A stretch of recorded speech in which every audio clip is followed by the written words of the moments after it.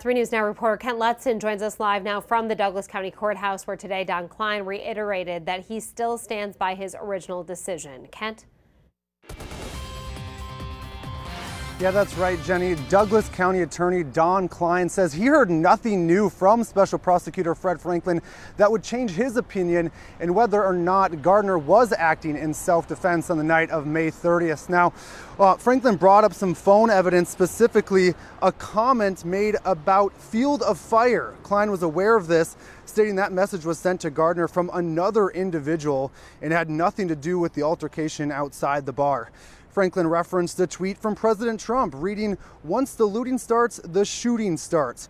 Kleine says Franklin's attempt to make a correlation between Gardner's support for the president and a tweet is not evidence, rather speculation.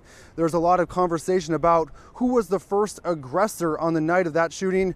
Kleine says there is some information that could indicate what state of mind Scurlock was in in the night he was shot.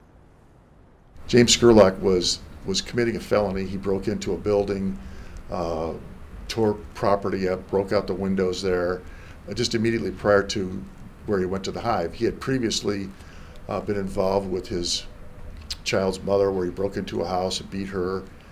Uh, and her comment to the police was that his violence is escalating.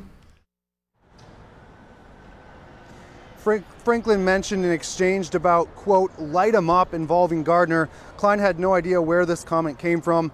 Kleine says he respectfully disagrees with Franklin's opinion, adding he questions the way the evidence was presented to the grand jury. Gardner's lawyers, Stu Dornan and Tom Monahan, sent out a statement today saying, quote, the statements made by Special Prosecutor Franklin did not change our belief in our client's innocence or the belief that he never should have been charged. And Don Kleine shares that view.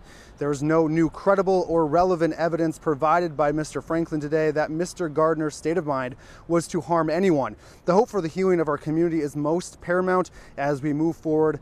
Our statements from Sunday stand. Now, we will have more reaction from County Attorney Don Kleine later tonight, as well as a recap of the Franklin press conference earlier today. Reporting live in Omaha, I'm Kent Lutzen, 3 News Now.